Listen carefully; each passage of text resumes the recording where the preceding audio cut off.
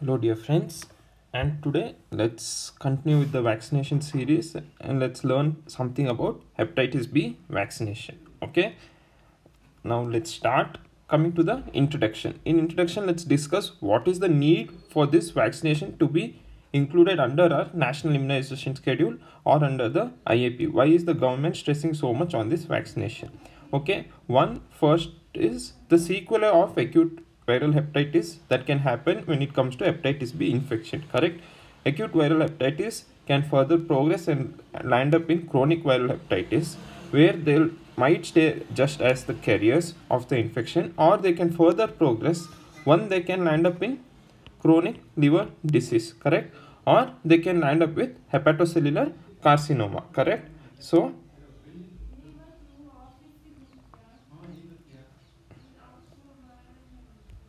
that is the need correct? Second the one more thing is the just a second. Among the indians there are around 2 to 4 percent of the indians 2 to 4 percent of the indians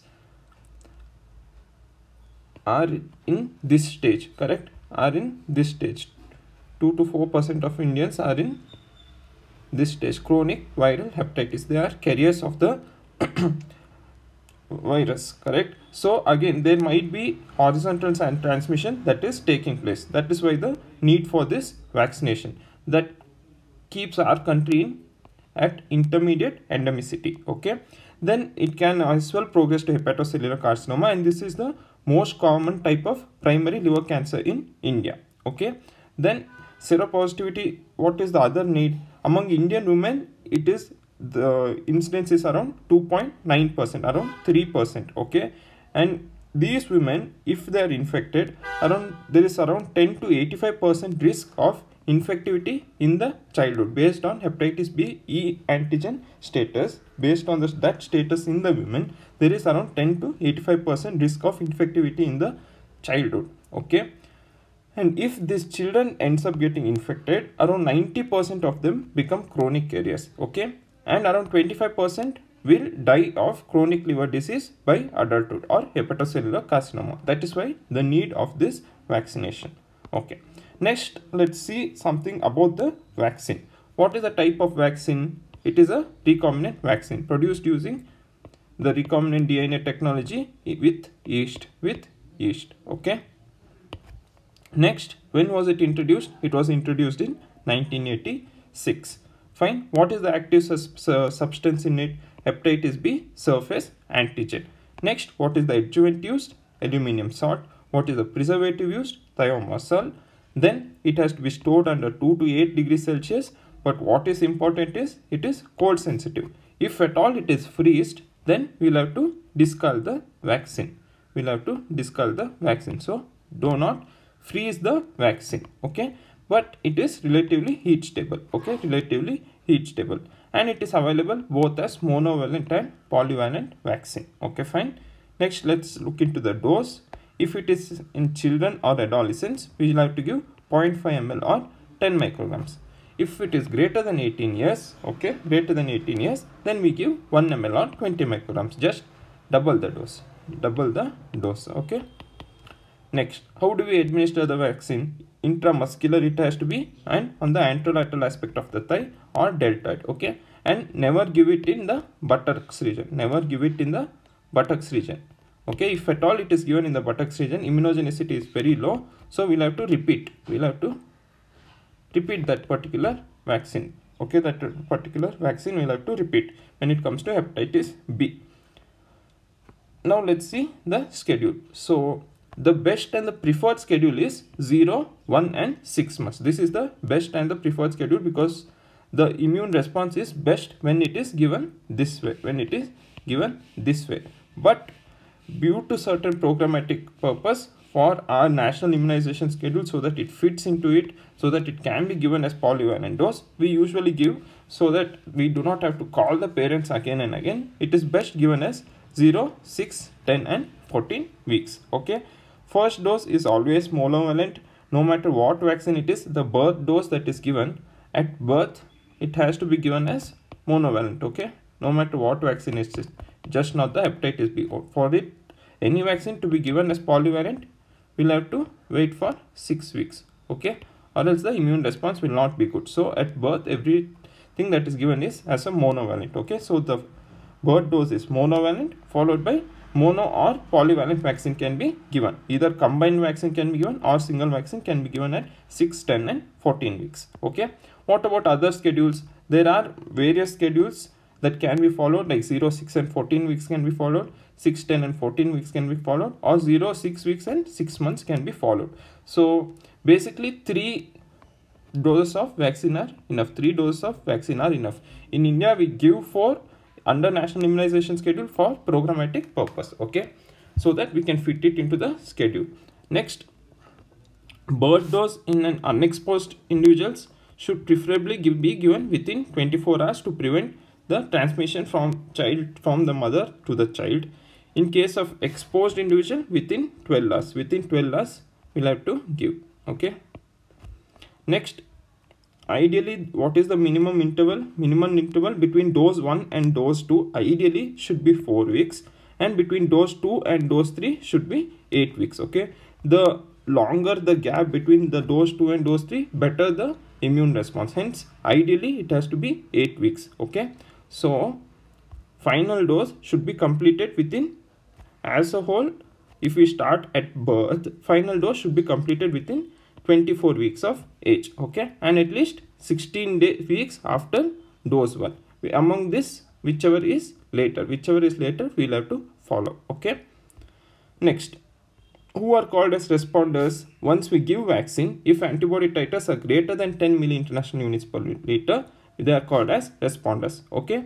So a minimum of one month gap should be given after completion of vaccine series and after that we can check for response. And in whom all we check usually we check in a healthcare worker we'll have to go ahead and check in infants born to mother who is positive. In infants born to mother who is positive we'll have to check after completion of vaccine series with the minimum of one month gap post completion and it can be checked in immunocompromised okay?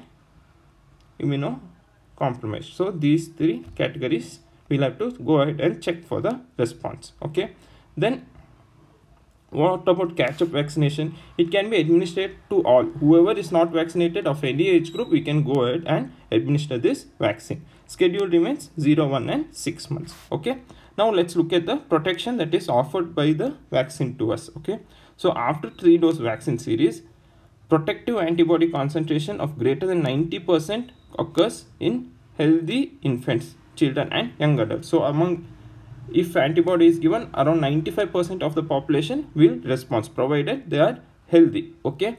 So what if they are not healthy? That means in immunocompromised or those with comorbidities the immune response might not be that good. That is why the need over here. As mentioned we'll have to go ahead and check for the antibody titers okay? Periodically check for the titers and further decide on booster dose depending on the titers. If it is less than 10 we can go ahead and give booster doses okay then what is the duration of protection that the antibody offers the titers itself may remain up to 22 years even if the titers decrease in healthy individual there is lifelong immunity because of the immune memory and the anamnestic response that is produced by the immune system okay what about adverse effect following immunization? Very mild local reaction, anaphylaxis, fever and fatigue can take place.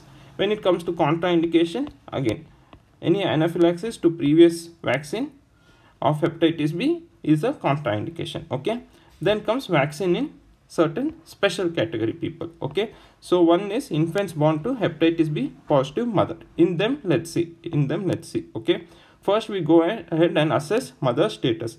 If mother status is unknown, first we go provide hepatitis B vaccine within 12 hours of birth. Okay, within 12 hours of birth we provide. Then if it is negative, we don't, don't we don't have to do anything. Later, if we get to know that mother is positive, then hepatitis B immunoglobulin should preferably be administered within 48 hours within 48 hours and may be given up to 7 days of birth okay? But it within 48 hours is what is preferred okay? Then if the hepatitis b antigen status is known okay mother is positive okay? If immunoglobulin is available and the patient parties are affordable then we'll have to give vaccination with hepatitis b immunoglobulin within 12 hours of birth okay? This is followed by routine schedule of vaccination. If we do this there is around 85 to 95 percent chances of prevention of infection in the children okay? If it is unavailable or the patient parties are not affordable then we'll have to go ahead with vaccination. 0 1 month 2 month and 9 to 12 months okay? Then if this is followed then the protection offered is around 70 to 75 percent. So this much 70 to 75 percent children can be prevented from getting hepatitis b okay from the mother. Then after doing this as mentioned we'll have to check for antibody titers okay. So check baby's hbsag antigen check whether the baby has got hepatitis b from the mother and hbsag antibodies at the age of 9 to 15 months. Okay at the age of 9 to 15 months we'll have to one we'll have to assess the response okay to the vaccination. Second we'll have to check the hbsag antigen status in the children. If they have acquired the infection from the mother they'll turn out to be positive and they'll end up being carriers. Nothing can be done to them okay. If the antibody titers is greater than 10 milli international units per liter then good. They are responded to the vaccine. Again nothing has to be done to them. They will have lifelong immunity if provided they are healthy. If the antibody titers are less than 10 milli international units then we'll have to see what we have to do correct?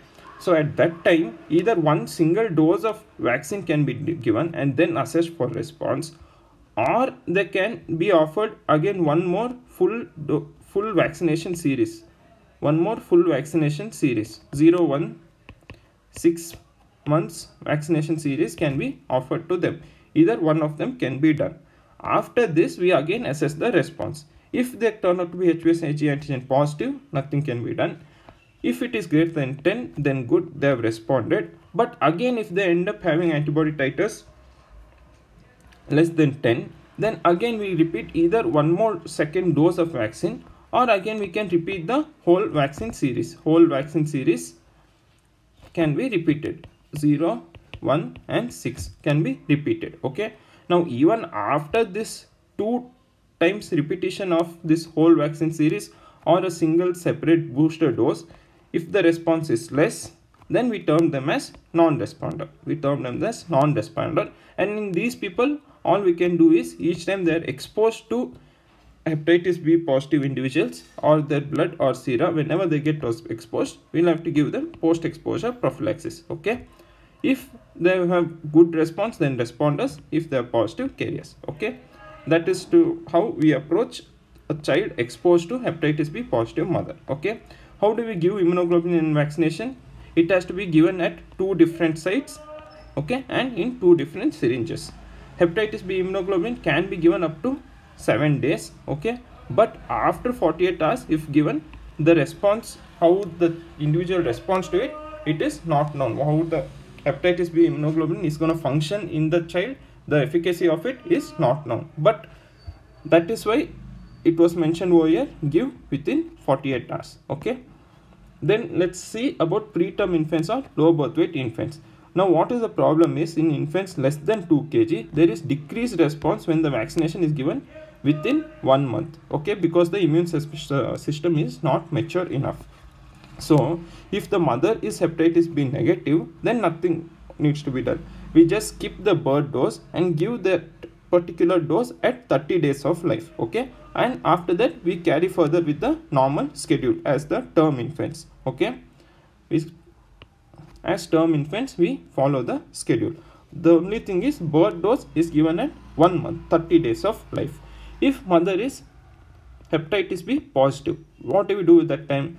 That time we administer vaccine along with immunoglobulin within 12 hours of life. We end up giving the vaccination but the thing is we do not count the birth dose as part of vaccination series okay?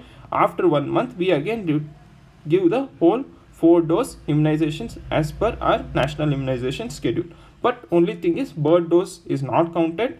Birth dose will be the first dose will be counted from 30 days of life okay then again we'll have to check antibody response and hepatitis B antigen status 4 weeks after completion of vaccine series. Okay, fine.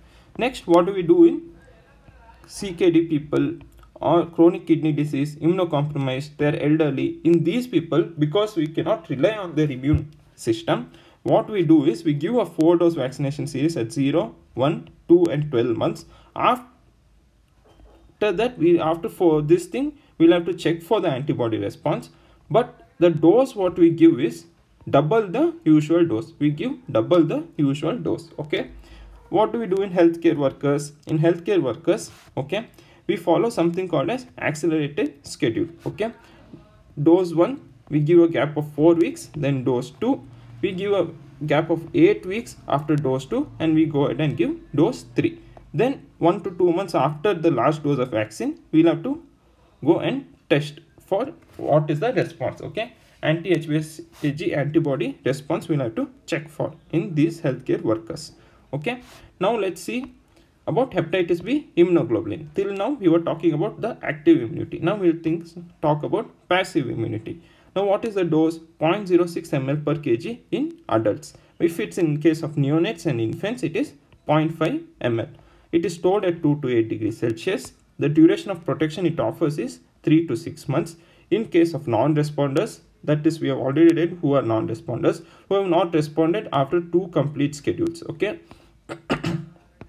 in them we offer post exposure prophylaxis the thing is usually we offer single dose correct but in them we give two doses of hepatitis b immunoglobulin one month apart okay fine it's fine so now we read about hepatitis b immunoglobulin now coming to the last part post exposure prophylaxis now what if a healthcare worker is exposed to a hepatitis b individual okay if he is unvaccinated, if he or she is unvaccinated, then we give hepatitis B immunoglobulin plus begin the new vaccination series for that person. Okay. But if he is fully vaccinated, then what do we do? If we know that he is a non-responder, if he has responded, then nothing at all needs to be done. Okay. If his antibody titers are unknown, we have not assessed his antibody titers post that full immunization series, then we should check his antibody status. Okay if it is adequate that it, if it is greater than 10 then we don't have to treat it if it is inadequate then we'll have to give one dose of hepatitis b immunoglobulin plus one booster hepatitis b vaccination has to be given okay then next if he is given we have given three doses and he is a known responder if you have given three three doses and he is a known non-responder not sorry not responder and he is a known non-responder we know what is non-responder correct then we give hepatitis B immunoglobulin and begin a new vaccination series. Okay. If six doses is given and still he is not responded, still he is not responded, then we give hepatitis B immunoglobulin. Then we give instead of a single instead of the new full new vaccination series, we give dose one and one month later we give dose two. Two doses we give instead of the three new vaccination series. Okay, three dose vaccination series. So that's all with hepatitis b it was quite long and confusing also so please go through the video once again okay fine thank you